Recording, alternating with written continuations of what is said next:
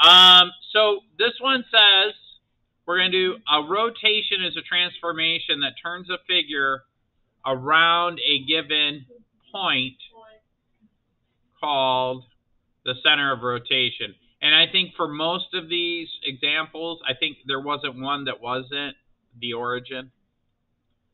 Um, I'm not even, I don't want to mispronounce that name. I think it's Siobhan. Rotates, and I apologize if I mispronounce it, but it rotates a right triangle 90 degrees counterclockwise about the origin. How does the orientation of the image of the triangle compare with the orientation of the pre-image?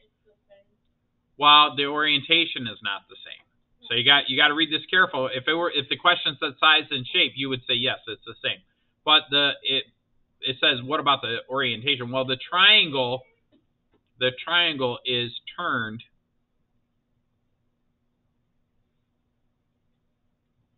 ninety degrees, and then uh, we'll say um, counterclockwise is like this. I'm just going to draw an arrow because if I say left or right, um, it confuses people. Because some people start at the top and go left this way, and some people start at the bottom. So I don't want to do that. Um, and then it says, is the image of the triangle congruent to the pre-image? Now, in this case, you would say yes. Um, they are the same.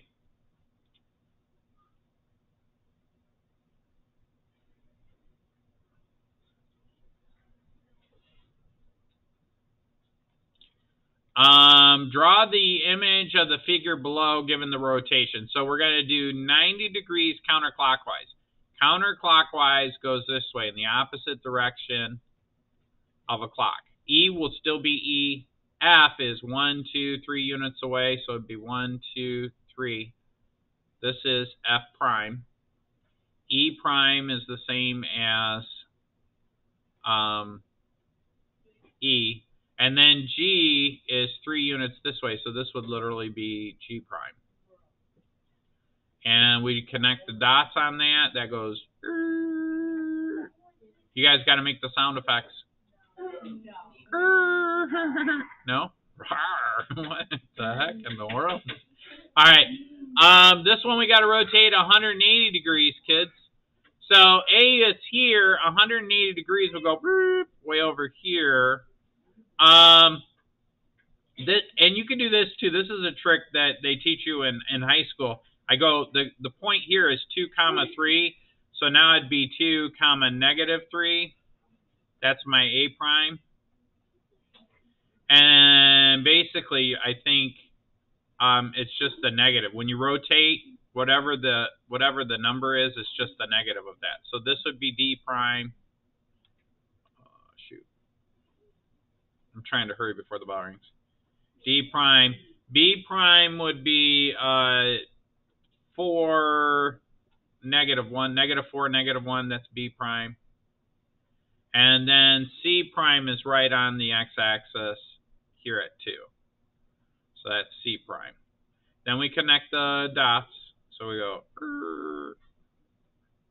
What was the sound effect you made? uh, there we go.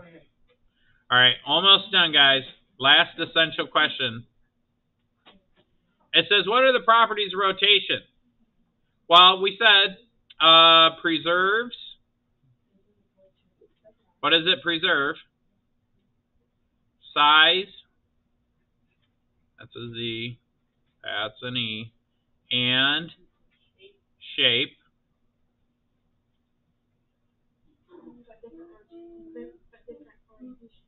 But I'm going to be a little more formal and say, but changes orientation.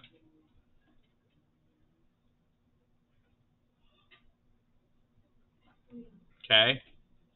And that is basically it. I'm going to post your guys' homework. I do want you to work on it.